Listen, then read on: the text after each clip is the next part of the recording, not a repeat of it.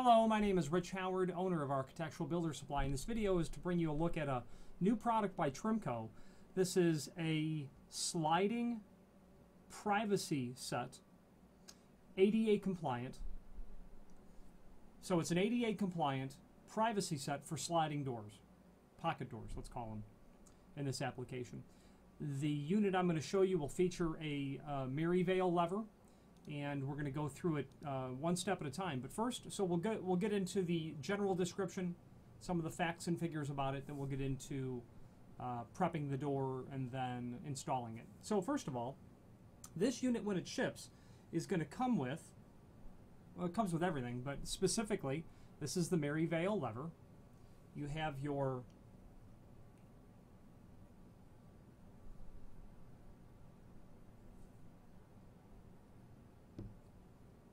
lever unit here.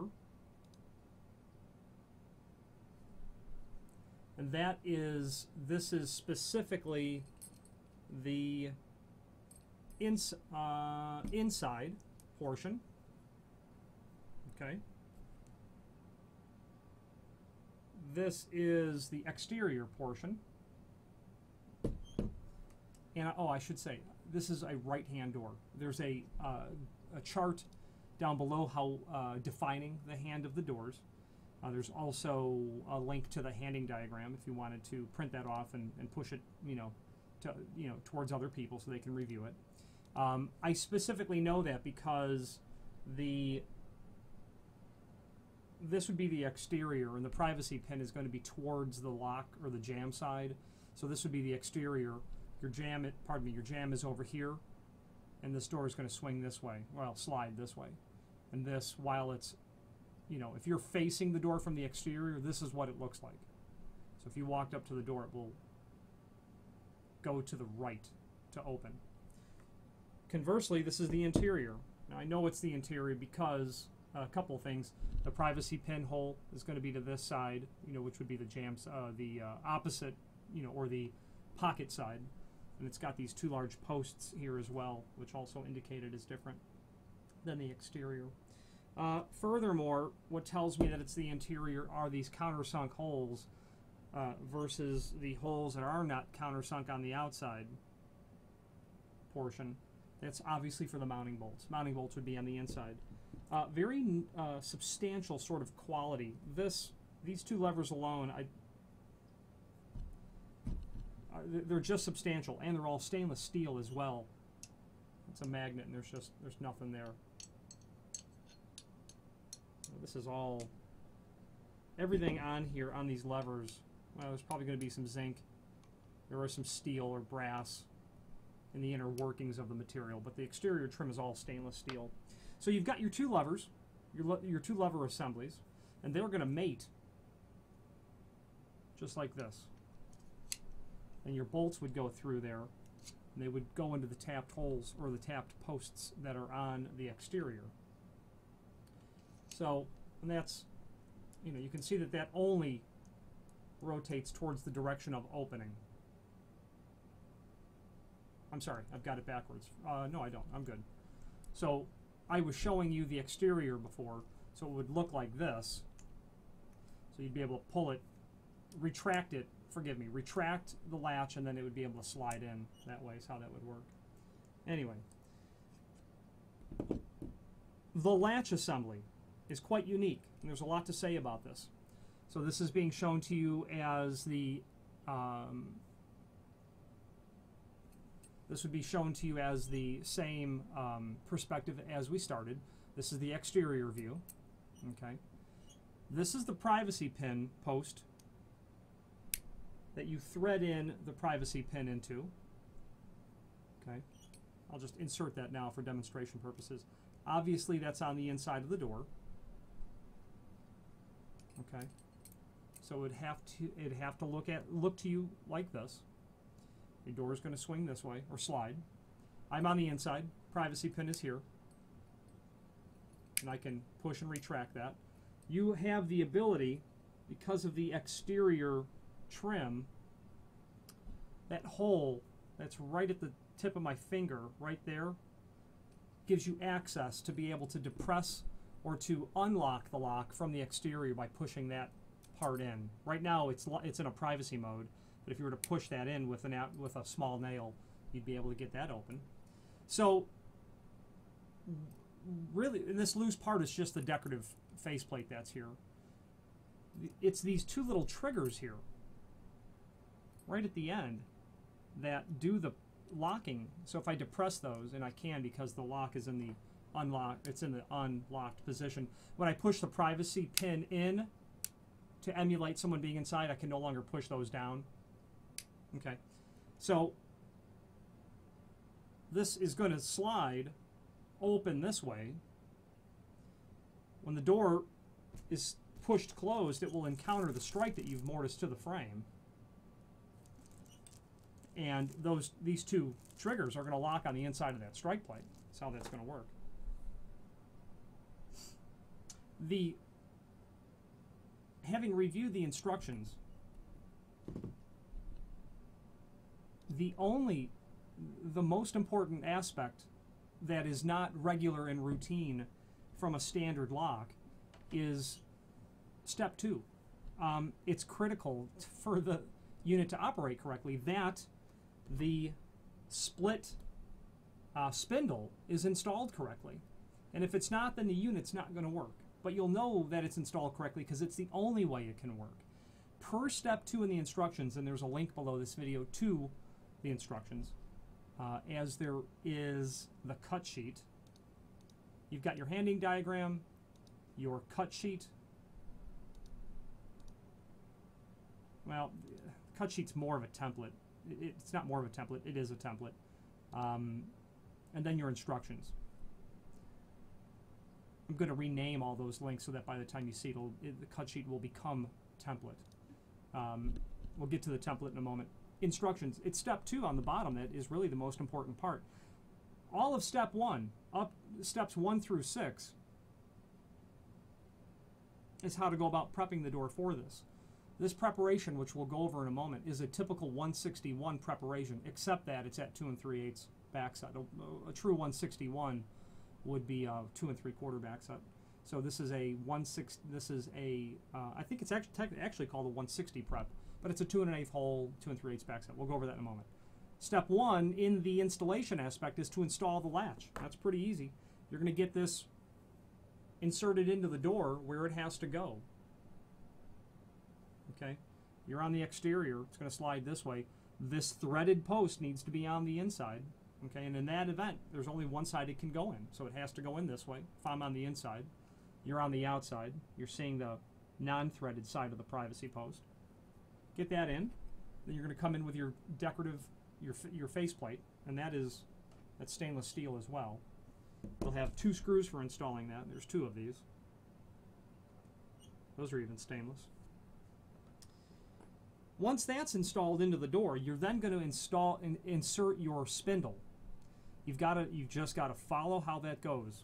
So the spindle, there's a ball, there's a spring-loaded ball here.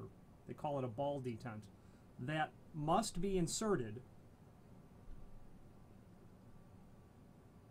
from the inside of the door.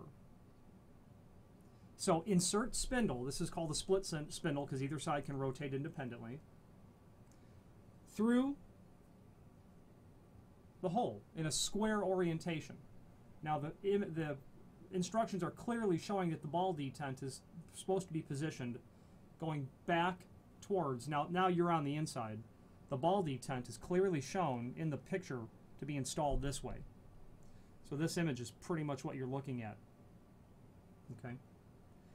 Now, the spindle must be inserted with the ball detent bearing first from the interior side.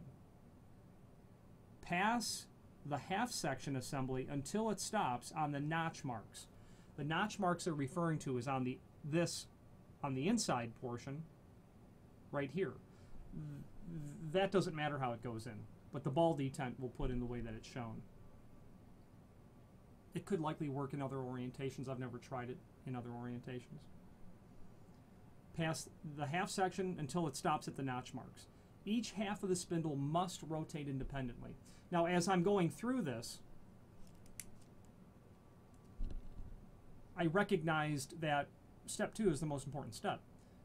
We're going to push the, so that the ball detent comes in. Okay, now that now that's it's snapped in. You probably heard that, but you're not in yet. You've got to stop when it gets to here. Now it was this aspect of doing this that I found that I had to tap on it a little bit just to take a tack hammer and very carefully get it pushed in, not to stress the latch bolt. But it's hardware, so it has a nice fit and finish. What happened then is the ball detent got all the way to the other side. Now you won't really be able, you will not be able to see that unless you went around to the other side. But you'll know it's you'll know it's correct because it's going to appear to be symmetrical, and both sides will operate independently. Now we've kind of jumped around from the components of this right into the installation, and I apologize for that. So at this point, I want to back up a little bit. Now that we've got the latch bolt installed properly, where you can see that it's pushed all the way through and symmetrical, the ball detent would be on the inside. Pardon me, that would be on the exterior, passed all the way through, so that you could just see it. Okay, you would be able to see that from the exterior side, you know, through your two and an eighth hole. You'd be able to see it right there in the corner. Okay, now, uh, before I go further with installation, let's cover the rest of the parts. Um, the strike plate is here. Okay, I'm going to remove that.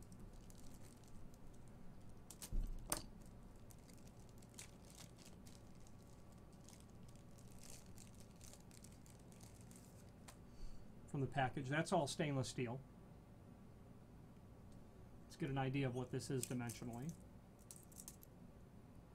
One inch by two and a quarter, and that is extremely typical for a strike like this. You're going to get two machine screws to hold the entire lock together. You get the two screws for the strike that I just showed you. They're in the package with the strike. You get the two screws for the latch bolt faceplate, which is also going to be same size, one inch by two and a quarter. This is the edge of the door. Okay. You'll get your privacy pin. Going back to the strike plate, you're going to get a dust box that will install, and you'll want to use that for sure, that will install behind the strike so that when you look inside the hole in the strike, you don't see chiseled or, or mortised or routed wood. Um, you're going to get your rosettes.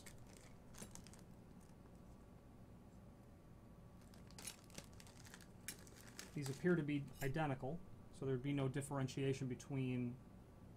That is not correct. They are not identical. One has a notch here.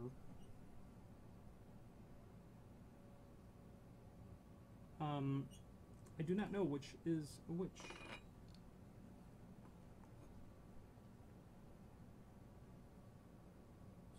I would say that it would be my preference to put the notch, the notch version.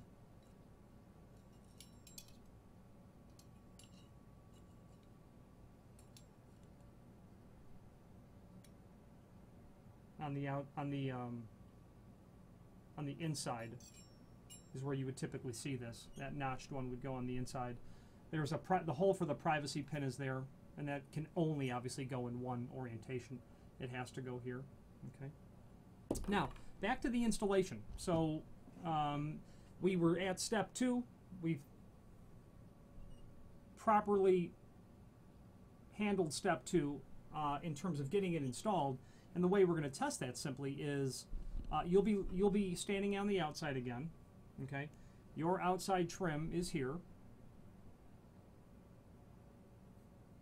and we'll install the only way that it can Lever has to be vertical. The hole for the privacy pin has to be over the back side of the, the post for the privacy. You can only install that way.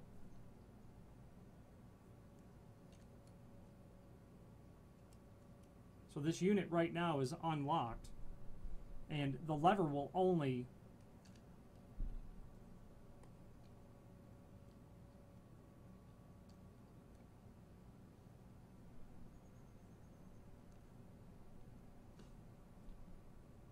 So you'll be able to rotate that.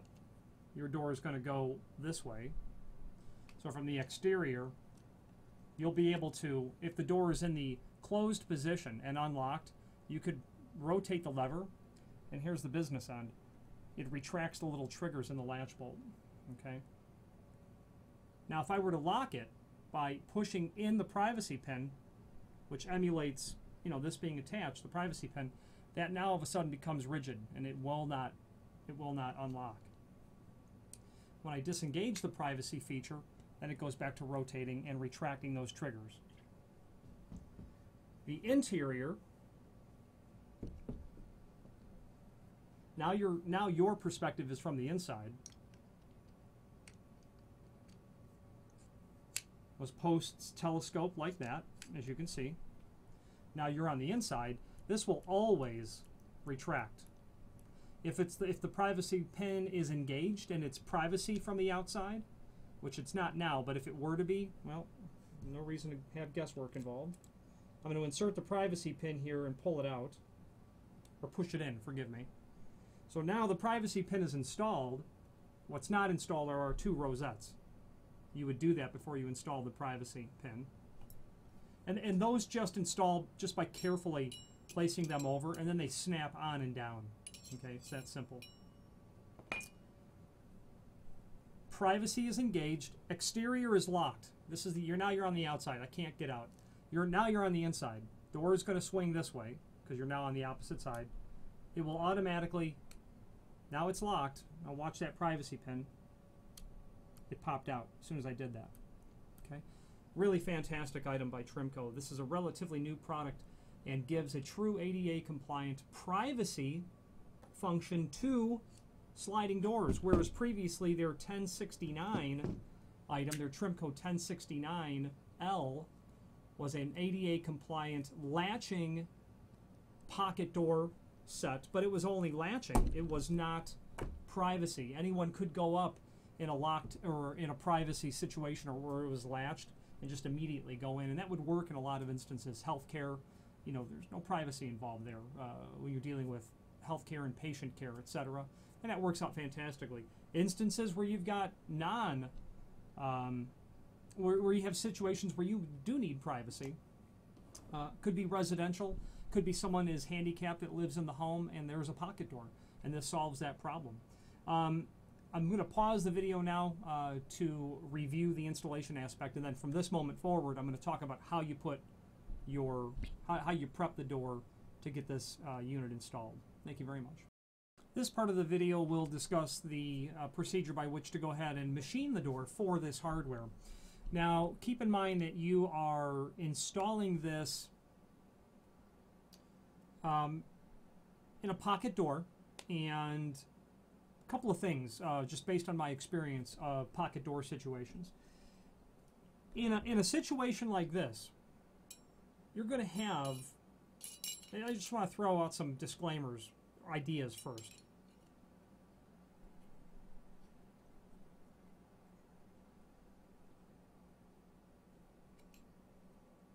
I don't want to snap the rosette all the way down because this is going to a client. You'll have a concept that looks like this, okay?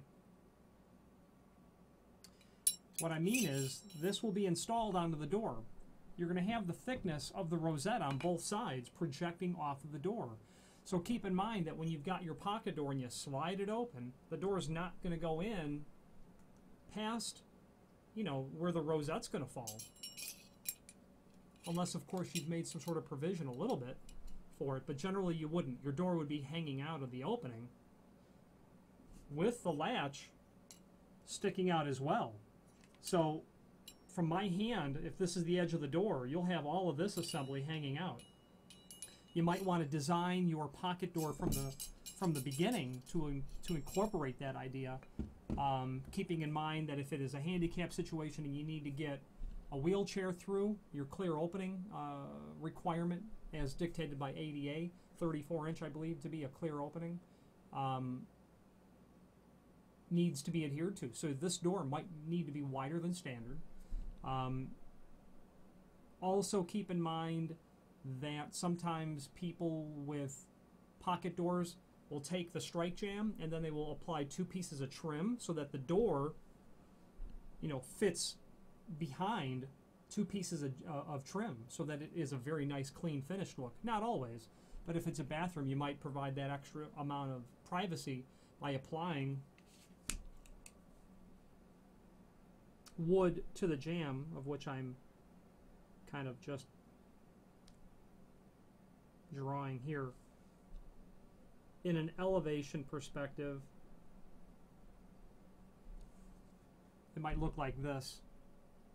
That little prep here is, is supposed to be the strike. Your two pieces of trim on either side then your door which will you know slide in that direction. So keep in mind all of these concepts before you go about um, installing this uh, to incorporate what a, what a clear opening has to be. This is an ADA compliant piece of hardware. You're probably using for for an ADA compliant.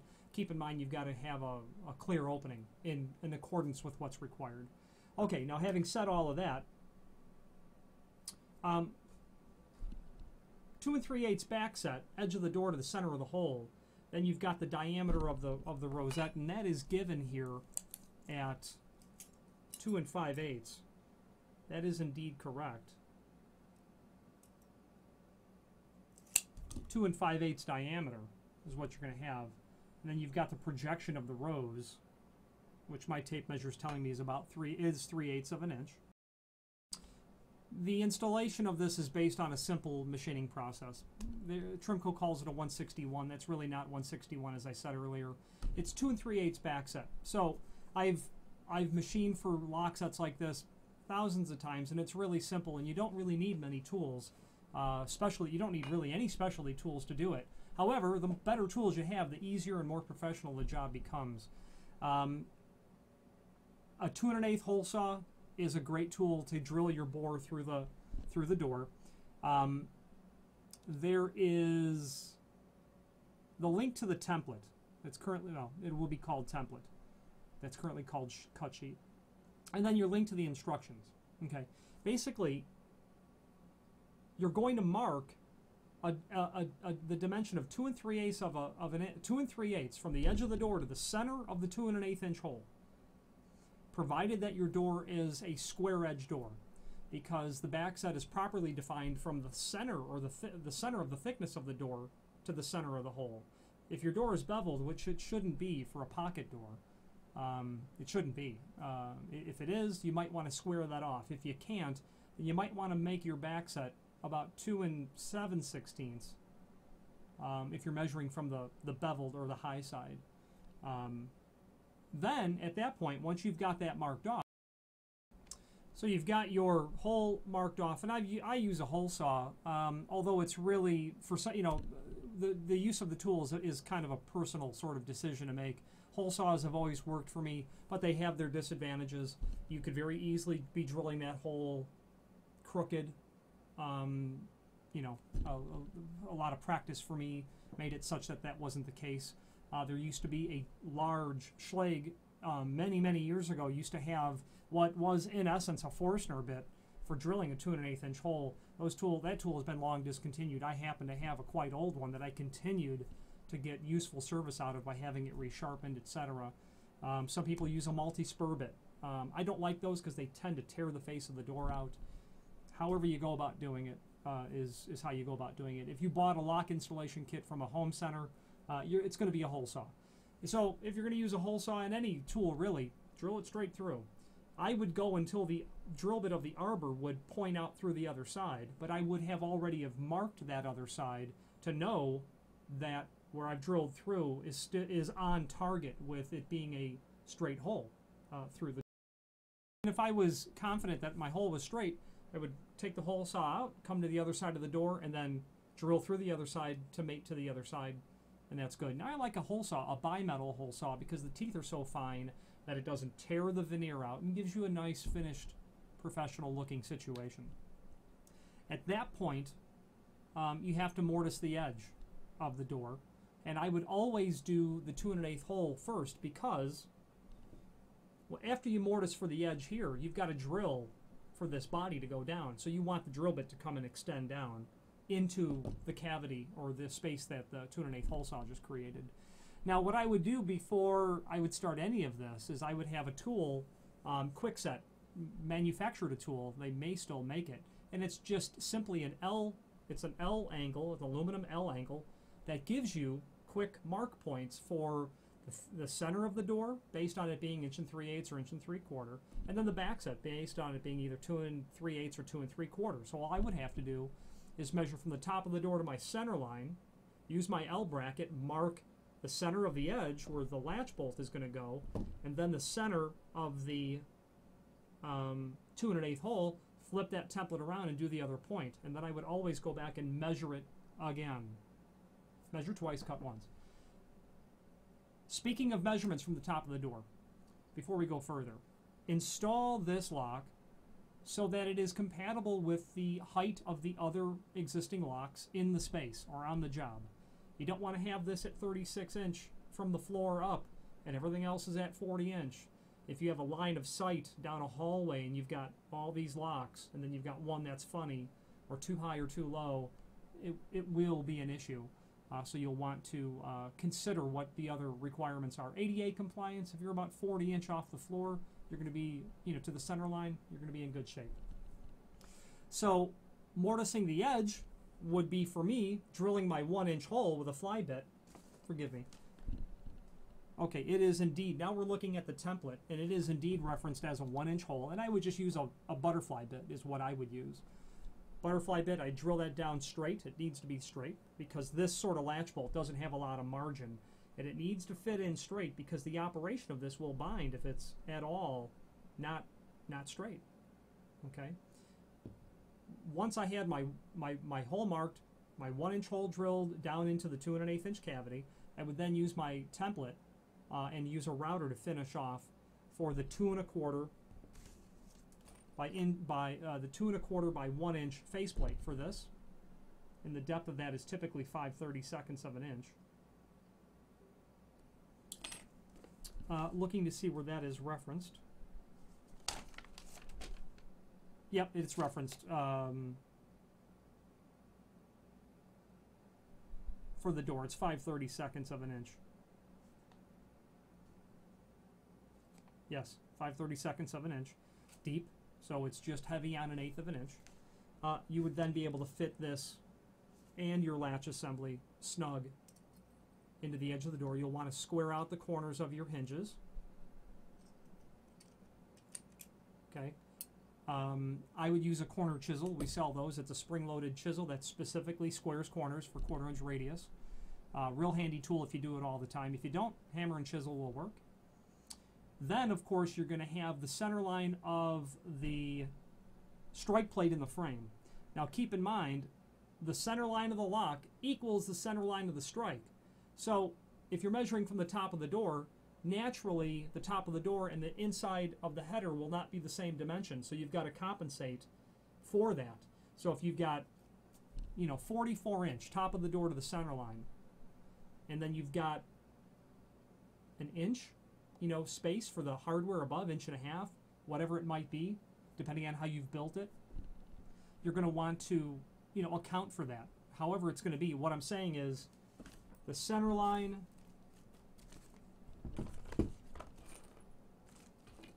Here's your strike.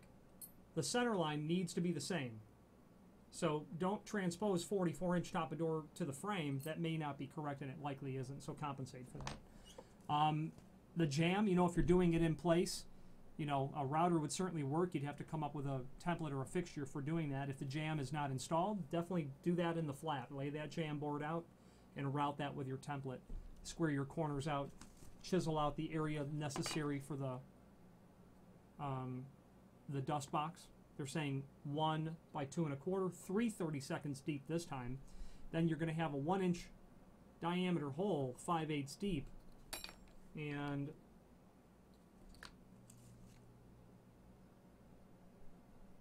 you know that that does that doesn't work for me um, because the height of this dust box cavity is not one inch it's heavy on one inch.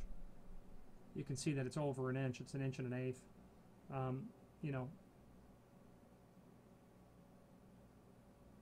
you're going to want to consider how to how to go about doing that. If it was me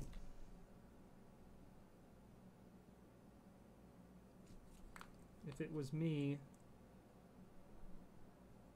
you know, I might be tempted to use a Forstner bit, have two holes that were basically an eighth of an inch apart, and drill, you know, drill like this with my Forstner bit so that I could get an oblong sort of hole.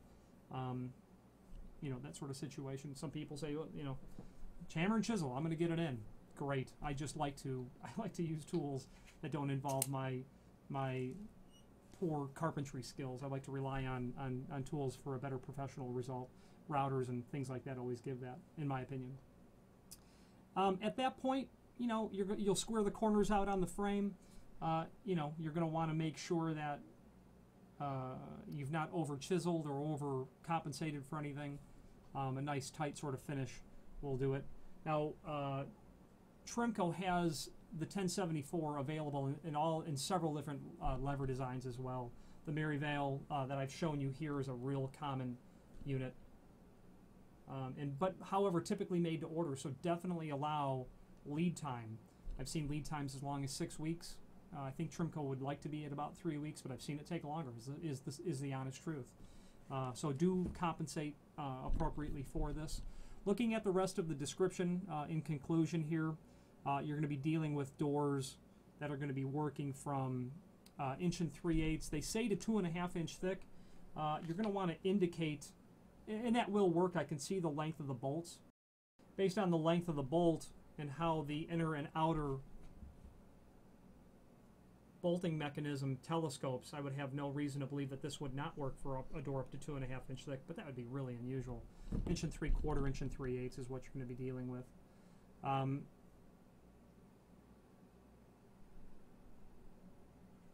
you've got dimensions uh, of the, the lever. Uh, the levers are installed vertically only. Um, cannot be installed horizontally. They're, they're just not going to work that way because certainly for the way that this is all machined and manufactured, it will only install vertically. Okay. 10 degrees to unlatch. Okay. 10 degree from vertical. It's a great quality item. Uh, Trimco, that, that name is synonymous with the phrase great quality item. Their fit and finish is exceptional. When you look at the detail on the lever, it's gorgeous. The only marks on here is my handling marks, and it just looks fantastic. Uh, I would not hesitate to use Trimco on any project. As I said earlier, sometimes the lead times are a bit long, but the material from them is always well worth the wait. If you have any questions on any of the Trimco 1074-1 ADA compliant sliding pocket door privacy sets or any other Trimco product, please do feel free to reach out to us. Thank you very much.